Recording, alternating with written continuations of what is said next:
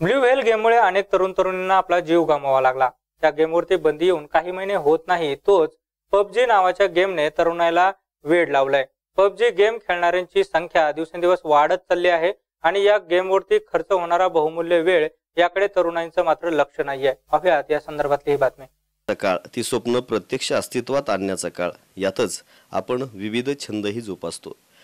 या मोबाईल आल्यापासून माणसं मित्रही आता मोबाईलमध्ये शोधू लागलेले आहेत. आणि तरुण पिढीसह मध्यमवयस्क सर्वजणच्या मोबाईलच्या पाशात पूर्णपणे अडकून पडलेले आपण पाहत आहोत. आणि यातच आता नवीन एंट्री झाली ती म्हणजे पबजी या गेमची. या अदुगरचे जे गेम होते ब्ल्यू हिल सारखे त्याच्यातून देखील प्रचंड मोठं नुकसान आपल्याला या पिढीनं भोगलेलं आपण पाहिलेलं आहे. आता या पबजीनं तर कहरच केलेलं आहे. किमान चार ते चौदा तास इतका वेळ ही तरुण पिढी याच्यामध्ये अडकून पडलेली आहे. तर हे पबजीचं जे वेळ आपल्या या पिढीला लागलेलं आहे त्याच्या संदर्भात जाणून घेणं खूप महत्त्वाचं आहे. तर या संदर्भात आजच्या रिपोर्टमधून आपण बघणार आहोत ही पिढी कशा पद्धतीने या पबजीकडे बघते आहे? माझं नाव यशवंत डगे. मला पबजी गेम खेळायला आवडतो. मी ते गेल्या आठवड्यातच डाउनलोड केला होता प्लेस्टोरवरनं पण मित्र म्हणले कर भारी गेम आहे. मग ते डाउनलोड केला गेम. ते नादच लागला गेमचा. मी खेळत बसलो तर खेळत बसलो. दोन दोन तीन तीन तास उठतच नाही एकदा खेळायला बसल्यावरती गेम. सकाळ उठल्या की ती मोबाईलला घेतो आधी पबजी. रात्री झोपताना पण पबजी जास्त आहे घरचे ओरडतात घरच्यांवर त्याला एवढं लक्ष देत नाही पण ती गेम चालू असते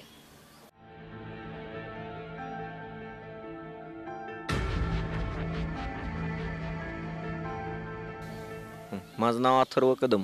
मी दिवसातून चार ते पाच तास पबजी गेम खेळतो. व माझ्या घरच्यांना पबजी गेम खेळण्याबद्दल भरपूर विरोध आहे. म्हणजे गेम खेळताना सारखं रागवतेत. खेळू नको. पबजी जर गेम खेळत असताना मी कोणाचाही फोन उचलत नाही. कितीही महत्त्वाचा फोन असला तरी माझं त्याच्याकडे लक्ष जात नाही. मला कोण आवाज दिला मी त्याच्याकडे बघत नाही. माझा पबजी गेम खेळणं म्हणजे एखादं सिरियस काम करण्यासारखं मी पबजी गेम खेळतो. तब्येतीचं म्हणल्यावर पबजी खेळण्यावरून तब्येतीचं म्हणल्यावर जेवणाकडे लक्ष राहत नाही माझं. अजून काय डोळ्याला थोडासा त्रास होतो पबजी खेळल्यामुळं. बस. माझे मित्र सगळे पबजी खेळतात. मी एकटाच ग्राउंडमध्ये बॅट घेऊन जातो. कोण सध्या येत नाही. मी एकटाच बसतो बॅट घेऊन. सगळे पबजी घेऊन पबजी खेळत साईडला बसतात मैदानी खेळ खेळायचे बंद झाले तर नसले मोबाईलवर गेम खेळत बसले तर आरोग्याची बी हानी करायला लागलीत. देशाचं बी वाटोळ करायला लागलीत. मित्र बी जवळचे लांब व्हायला लागलेत. फोन केला तर फोन बी उचलत नाहीत. इग्नोर करतात.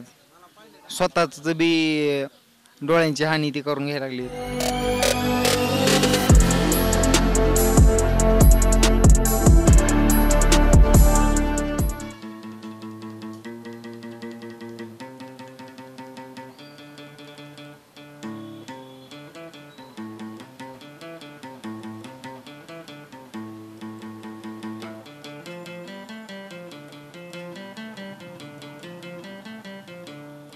नमस्कार. मी प्रभाकर जगदाळे संगीतकार. आजकालची म्हणजे ने जी पिढी जे मोबाईलकडे वळत आहे त्याचे परिणाम म्हणजे चांगले पण आहेत आणि वाईट पण आहेत. मग आता आजकाल मी बऱ्याच ठिकाणी असं फिरताना बघतो की मुलं अशी एक दहा बारा जमलेली असतात आणि मोबाईलमध्ये गेम खेळत असलेले असतात. एकाच ठिकाणी बसून ते खेळत असतात. त्यांच्या शरीराची हालचाल नाही काय नाही काय नाही. त्याच्यामुळं का होऊ लागलं आहे की त्याच्यामुळं म्हणजे शरीरावर एक वाईट परिणाम होऊ लागला म्हणजे. जर तुम्हाला जर गेम खेळायचाच असेल तर तुम्ही म्हणजे मैदानी खेळ खेळा ना.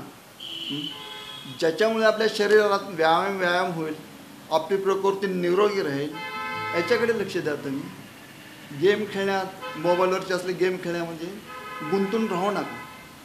जेणेकरून की तुमची मानसिकता पण बिघडून जाईल उद्या चालून तुम्हाला अनेक म्हणजे आजार पण होतील. तर आत्ताच दक्ष राहा आणि यापासून दूर जाण्याचा प्रयत्न करा. इतर छंद जोपासा. की ज्याच्यामुळे तुम्हाला स्वतःलाही आनंद मिळेल आणि इतरांनाही आनंद मिळेल.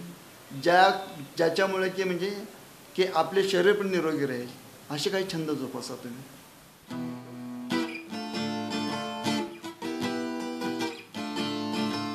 आत्ताच आपण पाहिल्याप्रमाणे हे बैठे खेळ जे आहेत जे मोबाईलवर इंटरनेटवर किंवा आपल्या कॉम्प्युटरच्या माध्यमातून खेळले जात आहेत खेळण्याबद्दल कुणाचाही आक्षेप नाही पण प्रचंड प्रमाणात वेळ आणि शक्ती त्या ठिकाणी खर्च केली जाते आहे. आणि याच माध्यमातून अनेक विकृती या ठिकाणी निर्माण झालेल्या आपण बघत आहोत. आपण एखाद्या मानसिक आजाराला बळी पडलो आहोत का याचीही शहानिशा करण्याची वेळ आत्ता आलेली आहे. यासाठी समाजातील शिक्षक असतील पालक असतील विद्यार्थी असतील आणि सामाजिक घटकांनी जागरूक राहण्याची गरज आहे. कॅमेरामन शुभम येरकळसह रमेश पेठे शालिनी प्लस उस्मानाबाद.